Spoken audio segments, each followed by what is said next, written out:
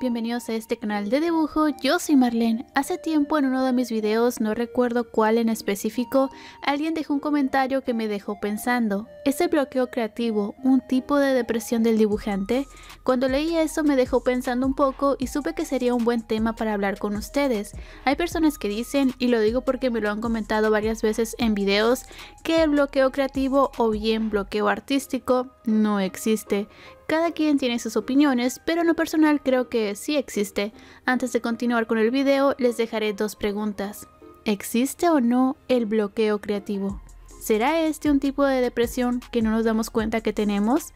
Y quiero aclarar que lo que estoy dibujando de fondo solo son prácticas rápidas para rellenar el video y no tiene nada que ver con el tema. ¿No les ha pasado bueno, yo creo que sí porque por eso muchos están aquí, por el título.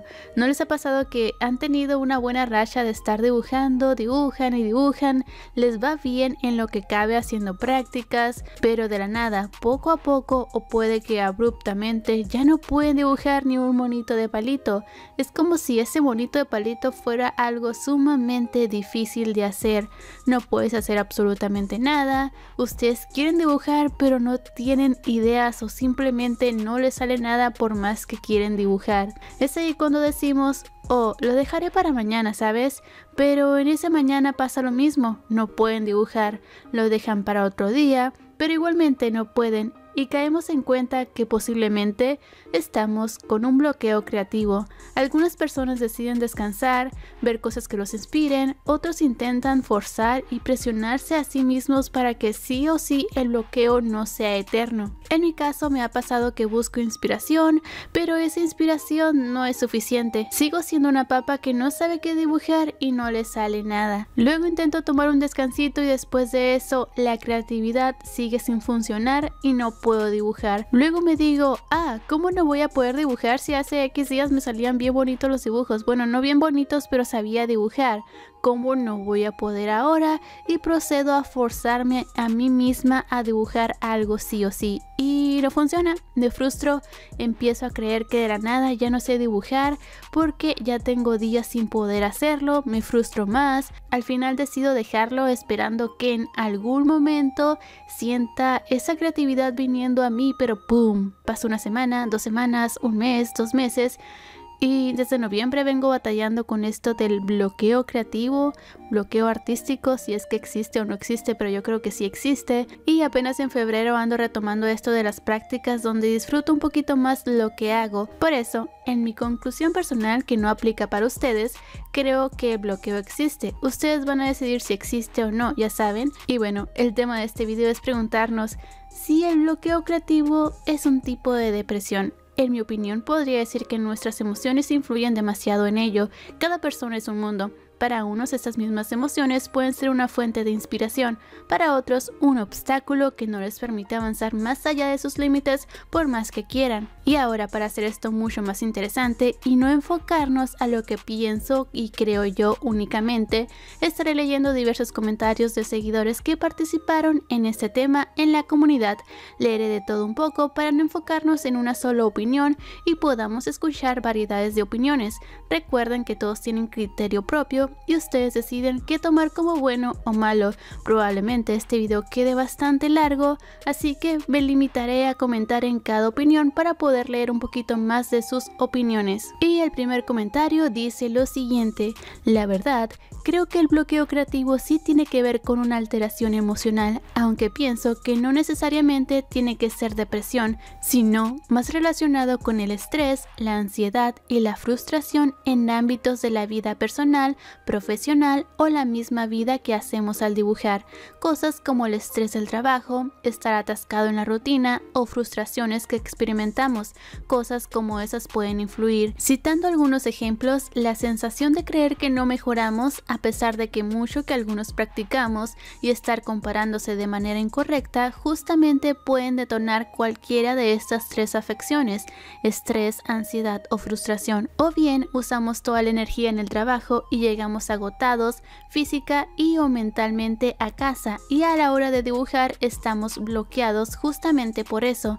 También problemas personales a los que les damos muchas vueltas. Y cuando queremos despejarnos dibujando no se van y estamos bloqueados. O el hecho de sentirnos estancados en la rutina y no podamos pensar fuera de la caja justamente por eso. Y todo lo que dibujamos sentimos que le falta algo más o no está bien y desechamos boceto tras boceto. Cosas como esas pienso yo, que afectan mucho a nuestra capacidad creativa y emocional, lo cual nos impide poder expresar nuestro arte de forma correcta, ya que el arte también es transformar una emoción en algo más en este caso, un dibujo, si hay problemas que afectan directamente nuestras emociones o cómo las percibimos y sentimos en nosotros mismos, es decir, no sabemos qué queremos representar porque aún no podemos entender cómo nos sentimos y cómo transformar ese sentimiento en arte. Para concluir, no digo que el hecho de tener problemas de este estilo de manera subyacente sea un impedimento, como estar diagnosticado con alguna afección de este estilo, sino el hecho de no poder conectar con nosotros mismos. Es por eso que gente con depresión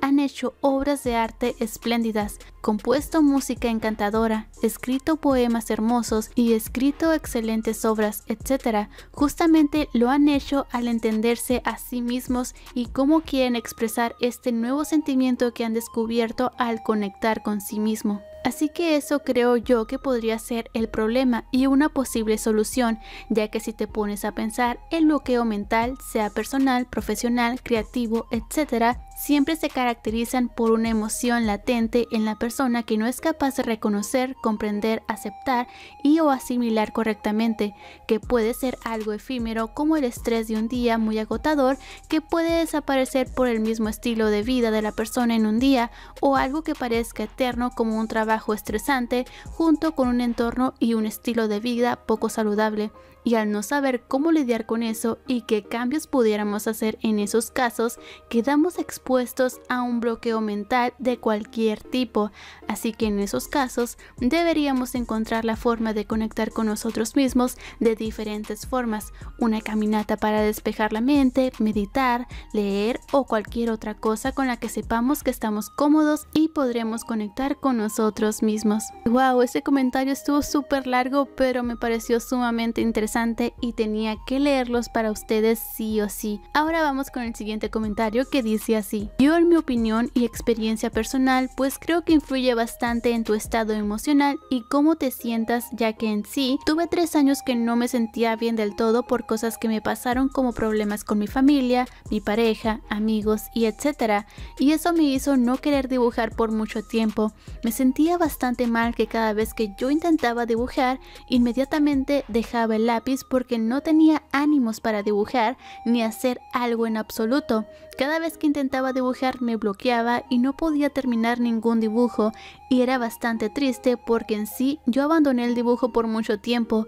No es que dejé de dibujar del todo, pero dibujaba cada 3 o 5 meses o más. A comparación de antes que dibujaba todos los días, actualmente me siento mucho mejor y estoy bastante inspirado para seguir dibujando, así que he cogido mi iPad y estoy feliz haciendo mis creaciones y me alegro por fin haber vencido mi art blog porque perder el amor al arte es lo peor que le puede pasar a un artista y mucho peor si deja de dibujar, ilustrar, pintar, etc. Pero espero que nadie pase tantas cosas que haga que les impida dibujar porque eso es feo y ojalá que todos puedan vencer su art blog buscando inspiración en YouTube, viendo a otros artistas o así. Al menos así llegó mi inspiración a mí otra vez. Vamos a leer el siguiente comentario que dice así. En mi caso lo tomo como una señal que debo cambiar algo de mi rutina, levantarme a diferente hora, mover un poco mi horario, hacer una actividad que no hago hace tiempo, ver series que no he visto, ver series que no veo hace tiempo, volver a escuchar canciones que no escuchaba hace rato, cambiar de playlist de música, cambiar mi ritual de antes de dibujar y demás. He aprendido que mi vida cotidiana afecta mi vida dibujil y por eso me tomo el bloqueo creativo como una alarma de hora de cambiar. No creo que el bloqueo creativo sea así para todos, pero en mi caso así funciona en mí. Este comentario es interesante. ¿Será que el bloqueo creativo es un tipo de alarma que nos está diciendo que hay que cambiar algo en nuestra vida? Está para pensarlo. ¿Ustedes qué dicen al respecto? El siguiente comentario dice así. Estoy estudiando la carrera en psicología y el bloqueo creativo no es depresión del dibujante, más bien podría ser una consecuencia o resultado de la depresión la cual impide a la persona disfrutar e interesarse en el dibujo. Al frustrarse de no poder dibujar como se espera, el desaliento se fortalece. También pudiera ser causado por la idealización del dibujo o tipo de dibujo que se quiere hacer y que a su vez es derivado del perfeccionismo y sobreexigencia al que muchos dibujantes se someten. Creo que es un comentario interesante y vamos a leer el siguiente y dice así. Hola Marlene, en mi opinión el bloqueo creativo es un concepto que puede ser mal interpretado. En mi experiencia he notado que cuando me detengo en una tarea creativa, a menudo es porque no tengo el conocimiento o la habilidad necesarios para resolver un problema particular en ese momento. Sin embargo, creo que es importante tener en cuenta que a veces hay factores externos que también pueden interferir con nuestro proceso creativo, como las obligaciones diarias que debemos cumplir. Por supuesto, es importante tener en cuenta que estas situaciones solo se aplican a aquellos de nosotros que no vivimos en nuestro proyecto. Saludos. El siguiente comentario dice así. Yo digo que sí, a mí normalmente me pasa el bloqueo cuando hay desbalance bien cañón en mi vida personal.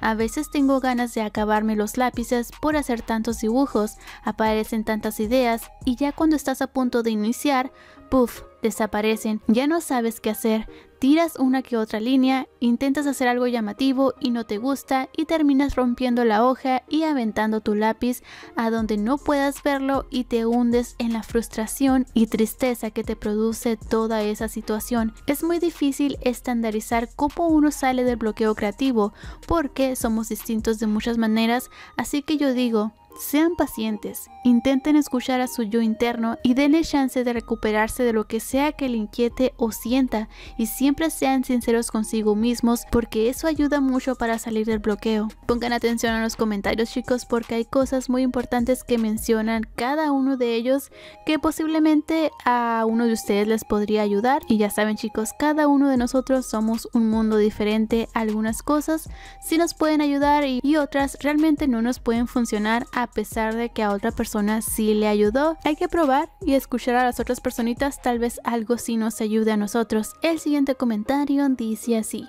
En mi experiencia puedo decir que quizás es algo que depende de las personas, porque realmente hace uno, dos o tres años yo ya estuve bastante mal emocionalmente con problemas familiares, falleció un familiar, me separé de las personas que me rodeaban día a día y tuve que iniciar de cero porque me mudé y nuevo liceo y todo. Me sentí en este tiempo principalmente sola, pero también bastante deprimida. Fue un tiempo de un bajón emocional bastante fuerte, hasta la fecha aún tengo residuos de esos tiempos, pero para aquel entonces lo que más me ayudaba era el dibujo y cuanto más mal me sentía, más inspiración y ganas de dibujar me daban e incluso me hacía sentir mejor. Y actualmente que ya estoy muy bien emocionalmente y he sabido seguir adelante, casi nunca dibujo, es muy poco o en momentos muy específicos, de hecho en muchos casos lo hago cuando me siento triste, realmente esa es mi experiencia. Como dije antes, cada persona es un y en este caso para algunas personas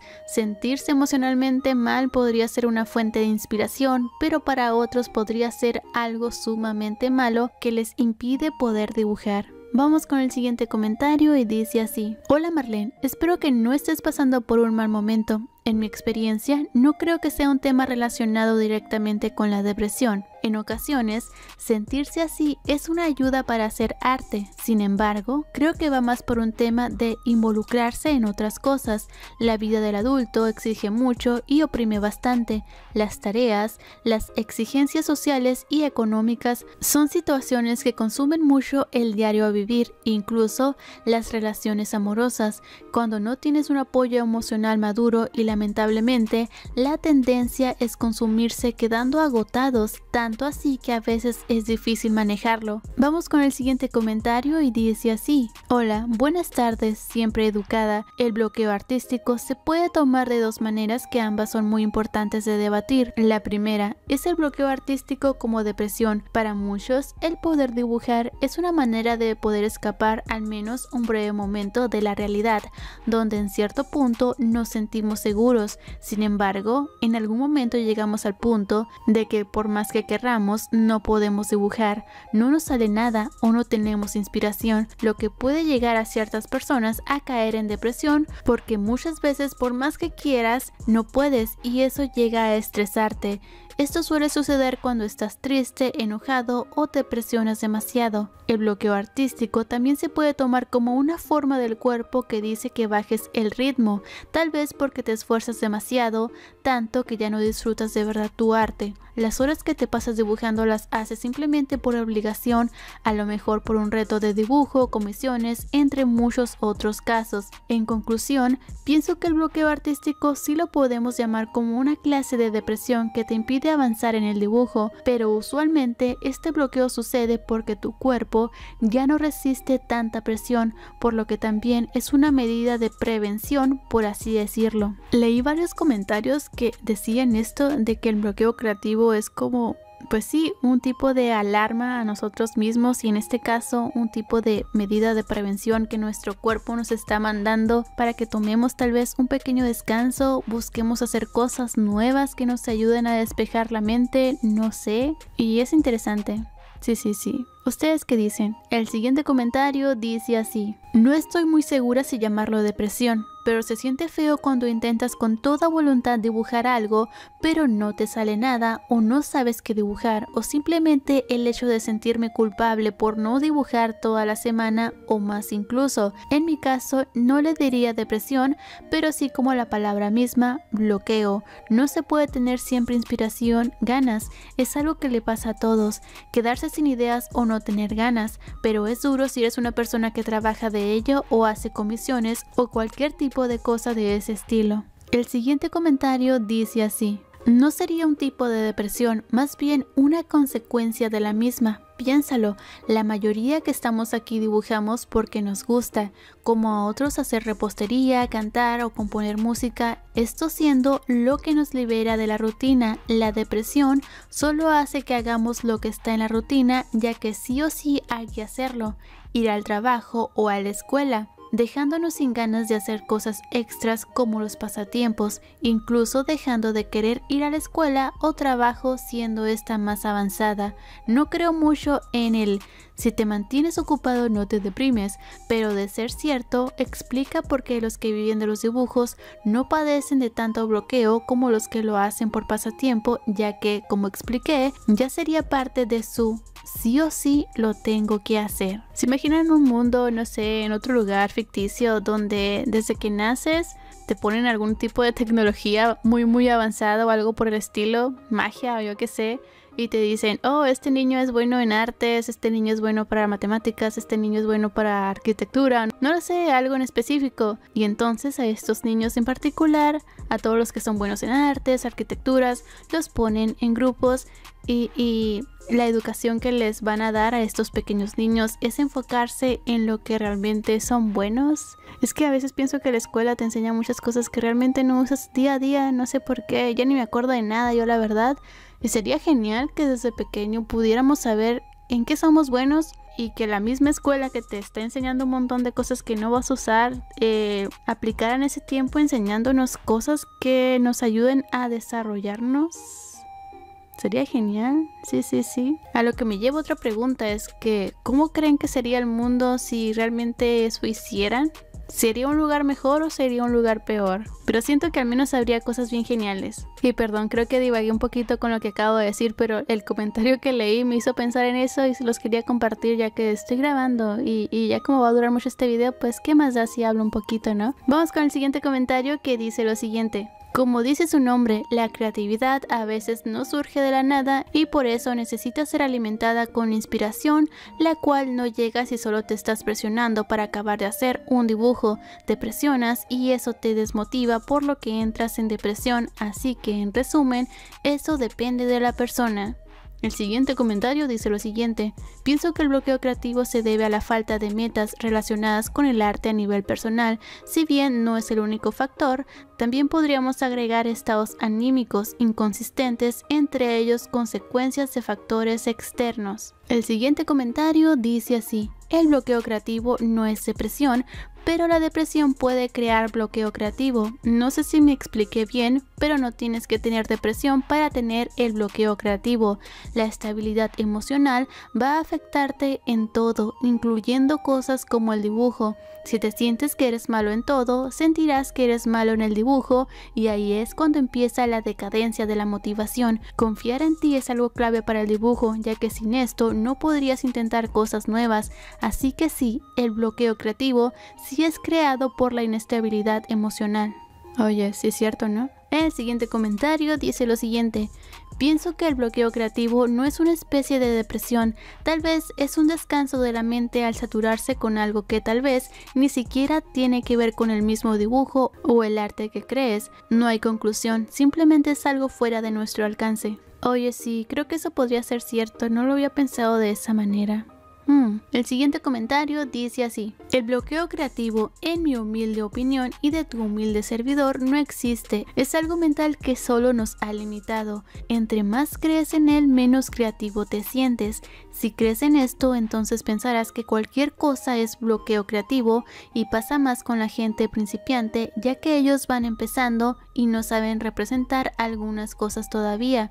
Cuando no sabes representar algo, no es que tengas bloqueo creativo, sino que no tienes el suficiente conocimiento para representarlo, no culpes a tu mente. Lo mismo pasa con la inspiración.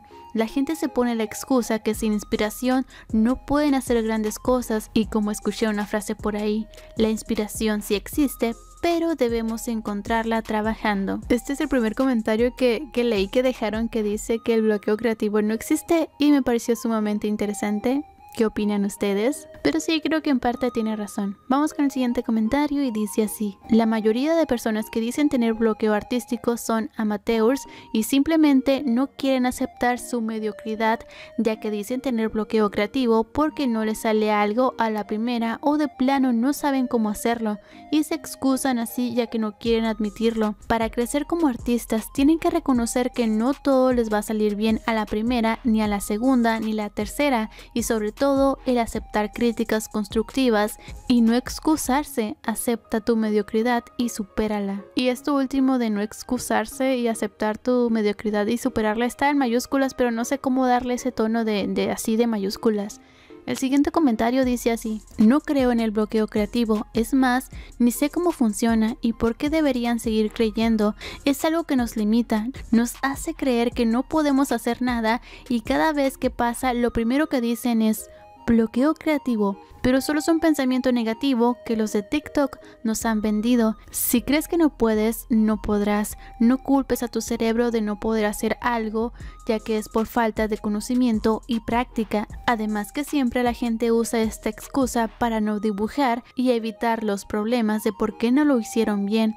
Es como cuando nuestras madres nos decían de niño que tal cosa es del diablo. Al principio no las creemos y sentimos miedo por eso, no hasta que pasa el tiempo y crecemos y nos damos cuenta que en realidad era mentira, que solo era un mito que alguien se inventó. Lo mismo pasa con el bloqueo creativo también. Quisiera escuchar sus razones de por qué tienen bloqueo creativo. Esto es un tema interesante que todos llegamos a creer, ¿ok? Creo que este fue el último comentario que decía que no creen en el bloqueo creativo y expresó su opinión de por qué no cree en ello, lo cual está bien poder dar su opinión.